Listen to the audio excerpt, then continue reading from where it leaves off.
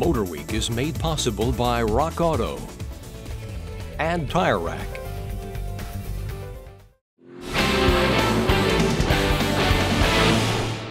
The original Acura NSX made quite an impression on people when it brought a uniquely Japanese perspective to the supercar wars.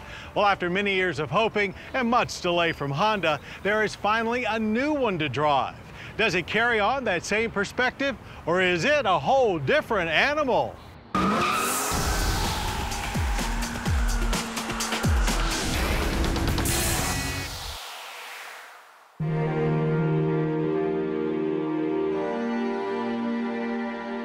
In order to properly introduce this 2017 Acura NSX, a bit of a history lesson is prudent.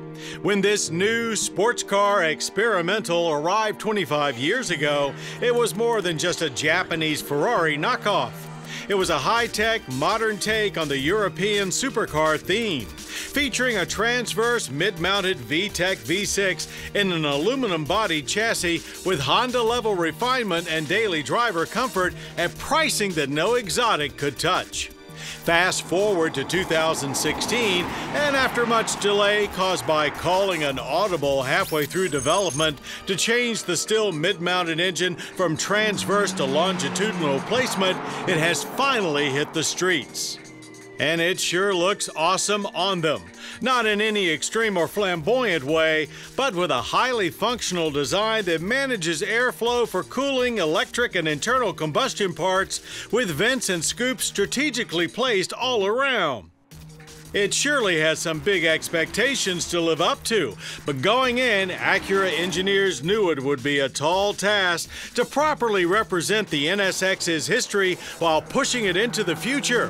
One thing they held on to was a cozy and low riding cockpit with great seats and all around outward visibility that puts most cars of all stripes to shame.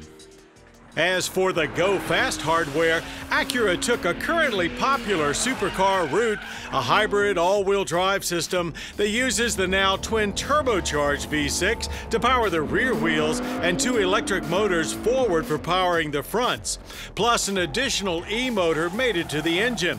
It's similar to the RLX Sport Hybrid, but in reverse. The V6 now displaces 3.5 liters and uses that electric assistance mostly at launch to bridge the gap of turbo lag until its twin boosters spin up to full force.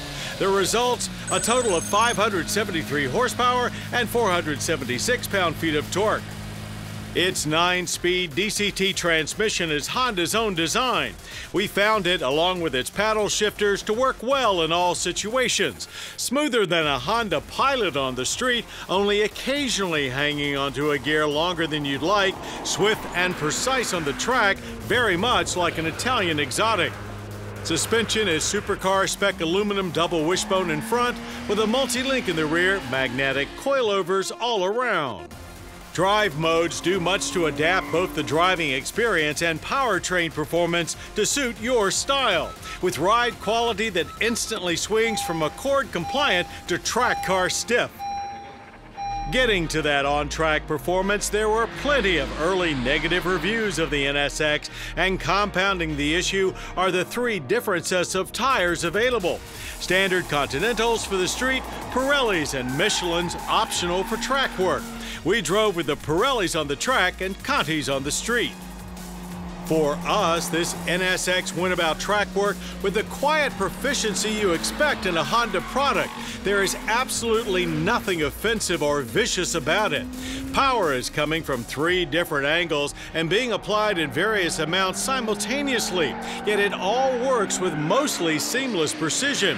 It doesn't so much hammer around corners as think its way through them. Even in straight line acceleration, it takes off directly and with a smoothness that seems to mask the magic that's happening as it propels you to 60 in under 3 seconds. Again, up there with supercars with much higher price tags. Launch control engages easily and perfectly every time, consistently delivering simply incredible rocket like power. And optional carbon ceramic brake rotors bring you back down to earth safer than any drogue chute. so it almost goes without saying. But as before, the now US built NSX delivers supercar style performance for a fraction of the cost of its closest competition. Though it may not be quite as attainable as before, with base pricing of $157,800, only about 800 will be available here this year. Upgrading it to track spec will push it closer to $200,000, where a lot of high performance cars reside.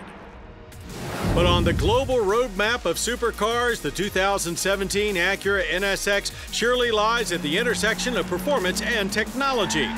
So we'll go against those early reviews and say that it stays 100% true to its heritage and easily worth the wait. An incredibly refined, highly capable, tech heavy, reliable daily driver that will appeal to equally sophisticated, performance minded drivers looking for a rarefied showcase. If you liked the NSX before, you'll love it now.